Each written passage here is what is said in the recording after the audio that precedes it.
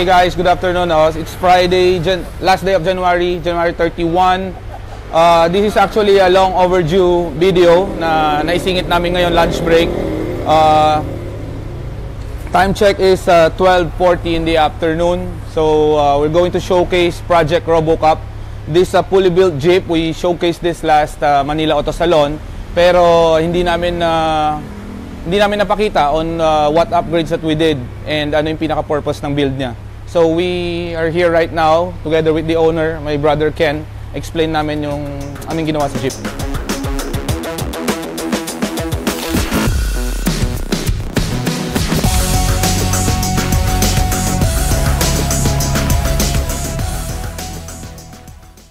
Yes. Well, let's start with the front bumper, Ken. Yeah, this one is a Pub 4, uh, full metal jacket. Full Ah. metal jacket na Pub 4. Actually, Pub 4 marami siyang ano eh. Meron siya yung may mahaba dito, may maiksi. Yun yung magkaparehas. Pero this one is a full metal jacket. Ginawa rin nating ah, body colored ah, bumper. Ah, actually, most of the ah, yung build nito is body colored to get a cleaner look pero a tougher one. And then uh, rigid SAE, ito yung mga bago din natin last year siya actually na launch natin these are these are the Cube street lights. legal lights ng SA uh, rigid na cube. Meaning SAE it is uh, it is a government approved. Kasi uh, rigid uh, just a quick history rigid the company rigid started with supply supp- nagsusupply lang siya sa, sa government. Government uh, vehicles yung mga military. So, after ilang years na na-open siya sa market, so, pero at least yung quality niya, makikita mo kahit sa gera, kahit sa anong ah, ah, ah, anong situation pa, mataas talaga yung quality. At saka yung, yung- as I mentioned earlier, it's a street legal light. So, government approved siya na pwede mong gamitin ng hindi ka hinuhuli yung mga nakakasilaw, nakakasilaw sa mga kasalubong or what. Pwede mo siya gamitin city driving, uh, on on-road use, tsaka pwede rin off-road use. Yes. Tsaka sa ano, ah, marami rin tong ano eh, variant yung SAE. Ah, may mga LED bar din yan, marami pang darating. Pero ito, Mm-hmm. Cube Light, ah, four pieces yung kinabit natin. So, ginagamit namin to, to more on na pag nasa city driving ka or nag-long drive. So, hindi siya nakakasilaw totally. And then, the come up winch, Ken. Ito, special order pa natin Oo. to, no? We actually requested this to it, our good friend Jasper. Yung come up winch. Actually, isa pa lang itong dumating, pero parating na rin yung mga ibang ano natin. Mm-mm. Digital na rin yan, pag inon. Wireless. O, at saka Wireless naka-wireless. Ah, and tapos yung kagandahan niya, ah, mostly yung Naka-light up din. Naka-light up din. Tapos tingnan mo, may ma- ma- close up mo charge yung gauge. Yung battery. ah, Tapos naka-synthetic rope din siya. And then our most trust, trust- uh, trusted brand when it comes to mga hooks is the Factor 55. So we installed the pair lead by Factor 55. Ito ata yung 1.5 Ken, di ba? yeah, one, ah, 1.0. 1.0 and then the Factor 55 Ultra hook tapos nilagyan din natin siya ng rope guard this is actually an accessory pero malaking bagay siya para at least kung may minsan accidentally may Yeah. pumipitik eh, iwasan natin yun. protect niya yung ano na hindi masugatan Yeah, yung oo. pinaka-rope ng ano. tapos na naka-pintel hook din yan like this one ah, additional available yan protection. Ah. para at least actually dito talaga siya nakalagay yung pintel hook natatanggal mo lang siya like yung ginawa ko tapos pwede mo siya i-lock dito para at least hindi na siya nabubuksan Ah, nice nice and then this one ah, rigid side shooter The DSS Pro. DSS, kung makikita nyo, yung mga cube usually, yung harap lang. Pero this one, since minsan ginagamit namin sa gabi, lalo na pag minsan nagka-camping trail, pag madidilim na, at least nakukuha, na, na, na- nakukuha niya na yung pangangailangan ni Ken, the owner itself, na paside yung buga. Kasi more on yung lights natin paharap na. So minsan, kailangan ko makita yung dito kasi minsan may mga puno dito, yung mga sanga-sanga, at least naiiwasan natin nakikita lahat ng lights. Yun. Even the side mirror, rigid na rin. Ah, rigid reflect. ah, It's a rigid reflect. then yung yung bracket niya talagang in order natin din. Ah, Bolt on lang yan for the Jeep. Door door mount bracket. And uh, sa mga Jeep owners, kung gusto nila to may available pa May tayo, di ba? available tayo. Ah, actually ito sold separately pero Ah, meron na rin tayong available ng bracket at saka ng lights. Tapos flares. Explain mo na, Ah. Yung flares Flares. natin ano, isa Poison. Poison flares. Ah, binody color din natin. malinis lang. Yes, oo. Actually, yung build na to gusto natin medyo simple lang eh. Pero loaded siya, pe- mapapansin mo loaded siya, pero simpleng build lang talaga siya. Under chassis. Ah, ito yung under ah, inner fender cover natin. Ah, isa Nemesis. Yan, ah, to protect the engine. Actually, isa ah, front and rear din yan. Ah, aluminum cover, aluminum cover to, pero pinaint natin lang sa black.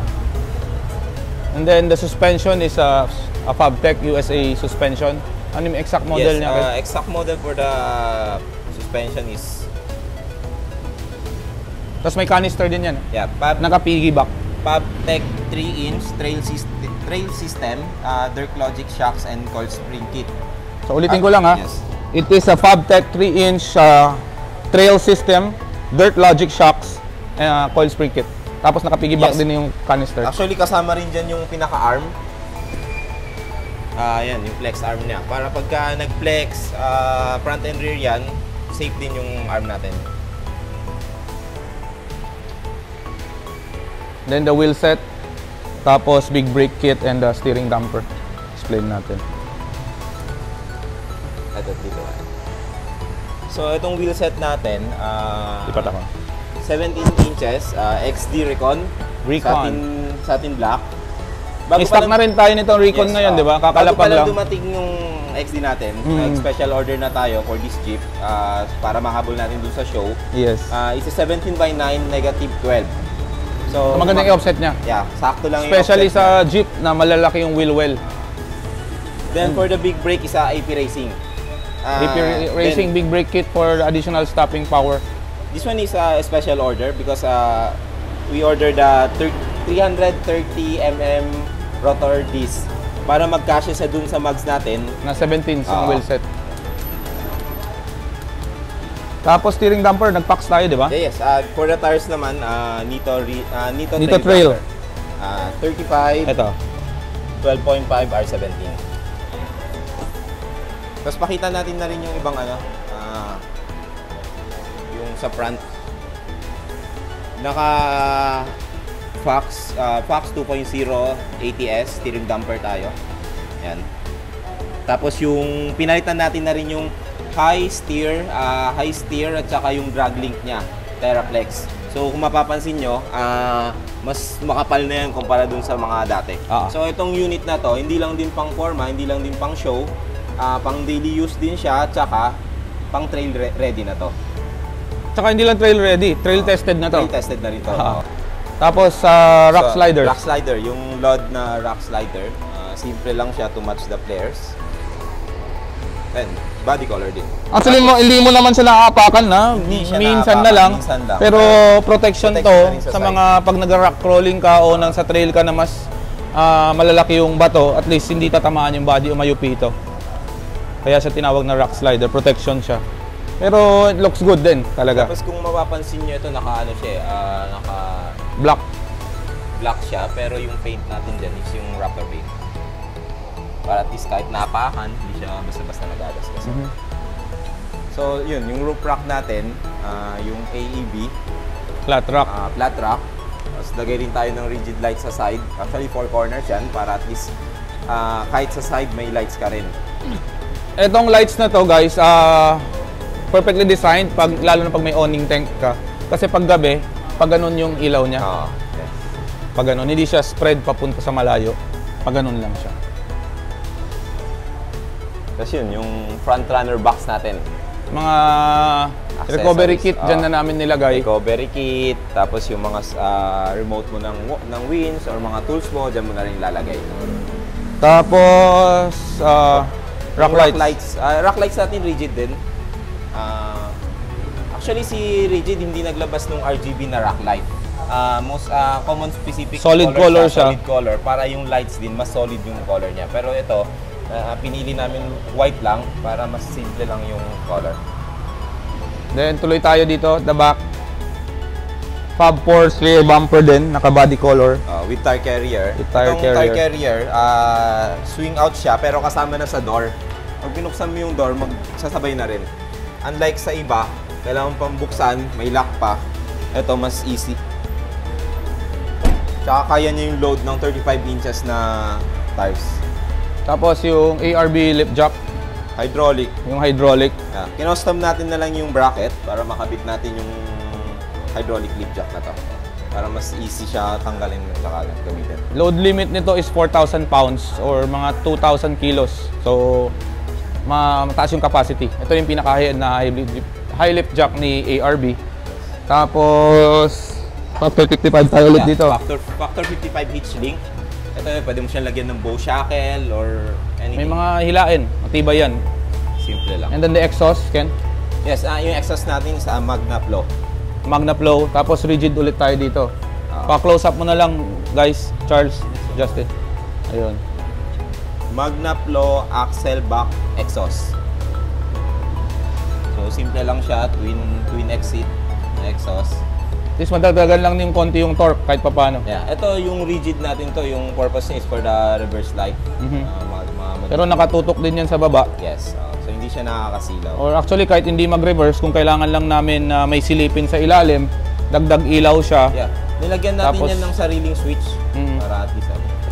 Yun. Eh, yung chase light. Rigid Sa, chase light. ano, mostly talaga kinakabit to sa, ah, sa Jeep. Malaking per malaking ah, tulong to, especially pag ah, naka naka spare tire ka sa likod, even sa mga ibang units. Hindi lang sa Jeep, lalo na yung mga pickups na naka jerrycan, naglalagay talaga Ah. para makita rin ng nasa likod mo, especially at night, na extended ka sa likod. Kasi minsan, lalo na yung mga pickups na medyo natatakpan na yung taillights Lights, nila. So additional lighting to. Oo. Adjustable din to, 7-way, di ba? Yes, ah meron siyang courtesy light, tapos meron siyang brake light, meron din siyang steady light, yung park light niya, Mhm. tsaka reverse light na rin to. Ah, ito, pwede mo rin siya ilagay usually sa roof rack o kaya sa mga bumpers, pero Mhm. ito sa Jeep. Sa mga ibang pickups din na medyo matataas, nilalagay nila sa taas ng ah, Yes. roll bar o Roll bar, kaya oh, yung yung- ro- roof rack na may basket rack, yes. para mag-guide din yung mga ano sa height nila. And then the tail lights Ken, ano yung nilagay ah, yung natin? taillights natin, ah, JW speaker. Ah, US brand din yan. Ah, taillights. Ah, isa lang- ah, simple LED taillight. Mm Sinilok lang. Buksan ko lang sa likod Yes, para makita ah, nila. sa likod natin. Naka-simple ah, sound quality sound setup din to. Malinaw lang. Clarity, hindi siya masyadong ma-bass para medyo relax lang din.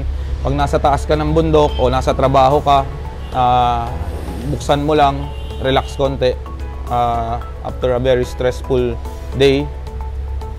It's focal. Simple, ano, simple clarity sounds. Ah, Focal F40th kit, limited edition. Ah, actually, out of ano 500, 500 na ginawang set, number 22 yung nabigay sa atin. Mm-mm. Ah, simple build lang siya na ano na woodworks. Ito, natatanggal din. In case na may mga lalagay kang maraming gamit or ano, pwede siyang tanggalin. Detachable siya. So, subwoofer. Ang gumawa nito is our good friend. Yeah, ah, ah, Team Chan.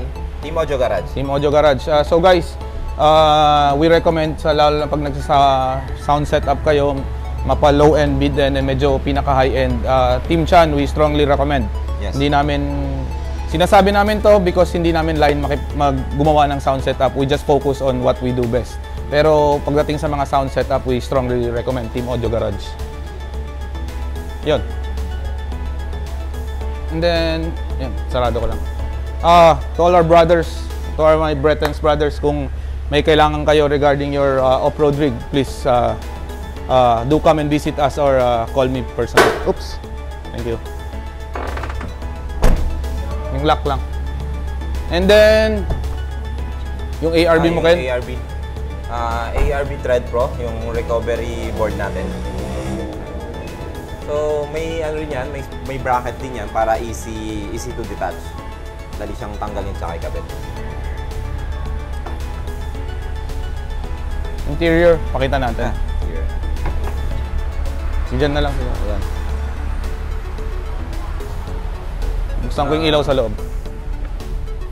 Yung head unit natin, yung Alpine 9, ah, 9-inch touchscreen. Touchscreen na yan. Sobrang ano, recommended din yan. Ang ganda ng... It fits kasi, hindi mo na kailangan ng extra processor or yung amplifier na ma-maximize mo na sa mga kinabit na woofers and separates. And then isa sa pinaka proud na proud yung may-ari, si um, my brother Ken is yung ah, cluster gauge Yung niya. digital cluster. Full digital na siya. Kasi if you can observe, uh, Wrangler is a very nice truck. Pero when it comes to the interior, medyo ano siya, old school talaga. So, yun, binago natin loob. And uh, to get a more comfortable seat, especially on trail and uh, and uh, long drives. Pinalitan siya ng Recaro SR ano to Ken? SR7. SR7. Tapos yung nag-special order na rin tayo nung bracket niya para at least bolt-on. Ah, Recaro seat bracket na rin siya. Ah, bolt-on for Jeep JK. Then ito yung switch ng ah, rigid adapt natin. Ah, yung 20 inch at saka 50 inch. Then the aluminum Smithy built grab handle. Yan, personally, alam ko, nag-agawan pa kami dun sa US niyan kasi last one na yan para mabitbit lang. Tsaka guys, ito yung Twitter natin. Ah, Focal din. ah, linis lang din talaga ng pagkagawa. Parang akala mo bolt-on talaga dun sa Jeep na ano, eh, original parts. Mga switches mo kayo, Ito yung multiple switch switches. natin, ah, yung overhead panel switch. Actually, ah, it's a 6 switch, so lahat ng ilaw nandito. So, organized siya, malinis, tsaka proper way talaga sa mga ano, sa mga lights natin na hindi, hindi tayo mangamba para magka-problema or ano. Steering wheel, wheel pala, hindi ka pa nagpapalit, no? Meron na rin dumating eh, yung real na steering wheel. Hindi lang natin nahabol kasi late na dumating. Sige. Tapos, yun lang. small details, yung mga mating mo. Ayan, matting natin, ah, simple matting lang. Naka tire tread design siya, medyo Ah, madilim lang. Oo. So, yun. Tapos yan, malinis lang din yung isang amp natin nasa ilalim lang ng upuan. Tapos, gas tank cover. Ah, rugged ridge. Rugged ridge din. Magnetic na siya. I think yun na lahat. No? Tint. Nag-tint ka Ah, ba? yes, yung tint natin, na clear tint lang siya ng BF Film. Um, decide kami lagay lang yung clear niya kasi sobrang ganda. Sobrang highly recommended natin. Yung init, di mo nararamdaman. 98% yan, di ba? 99%. 99%. 99% siya. And then, uh, to give more attitude, nilagyan nilang namin ng decal, pero hindi siya masyadong visible. Yung mga brands lang na nilagay natin. Yan. Ito, anong sticker ba to, Ken? Hindi ko- Then- ano, ba, ano ba to, Ken? Hindi ko mabasa eh. What about off-road? Then sa ilalim pala, may nakalimutan tayo sa likod. Ah, nilagyan natin ng Yukon deep cover. Tapos Ah, naka-regear na rin yan. rear. Tapos naka-regear na rin yan ng ano, ah, 4.88. So yung Ratio ng gearing niya, ratio, ratio for the 35 inch and up. lalo na sa tire, para hindi at least nabibigatan yung makina and the transmission, proper pa rin yung gearing. Kasi dahil sa weight na dinagdag natin. Yes, At saka yung hatak, yung bilis niya, an- nakukuha pa rin natin. Kasi maraming ang ano 'di ba, yung mga mostly na nagto 35 inch, ah hindi pa nagre-regear. So to make it proper, proper sa Guys, sa lalo na yung niya. mga jeep na naka 35 na goma, ah, we strongly recommend na magpalit kayo ng ah, regear para maiwasan masira at masunog yan. Mas malaking problema pag ano, yung inu- natin- inuna natin yung looks. Ah, gamit Tapos natin yung yun. Regear Yukon brand din, ah, US. Ano pa? Small details, yung ah, famous sa hashtag namin, yung Autobot Strong. Usually kasi nilalagay namin dito sa door yon. Pero since we really want this to get the clean look, ah, minimalist lang yung mga pati yung kulay. Hindi siya kita Tsaka masyado. guys, hindi makukompleto yung interior setup nyo pag wala kayong yung bestseller naming pabango, ah, Air Pro. Actually, ako personally choice ko yung Tokyo. Lahat ng sasakyan ko gamit yung Tokyo. Guys, we just showcase our fully built uh, Jeep Wrangler GMK 2019 model, di ba? And Late 2018. 2019. 2018. 18 ba ito? Ah, kasi actually sa last production na rin. Ah, okay. Sige, so late 2018 model, uh, 0.6 liter ah, gas. We have some questions with uh, regarding with the build or any plans with your build. Uh, don't hesitate to get in touch with us. We'll help you. We'll give you ideas. We'll, we'll talk about it thoroughly. Let's plan the build. Uh, let's share some ideas. Anyway, uh, follow our YouTube channel. It's what about Autoworks on Chrome. Our uh, Instagram, our Facebook page. Actually, sa Facebook kami lang nag-update when it comes to what's happening every day at our HQ, here at our HQ. And then sa YouTube, medyo aggressive ka ngayon, kami ngayon and when posting new videos. So uh, again guys, thank you for uh, uh, the unending support. Thank you for always trusting us. Thank you for uh, always supporting us. And yeah, God bless you guys. Bye. Okay.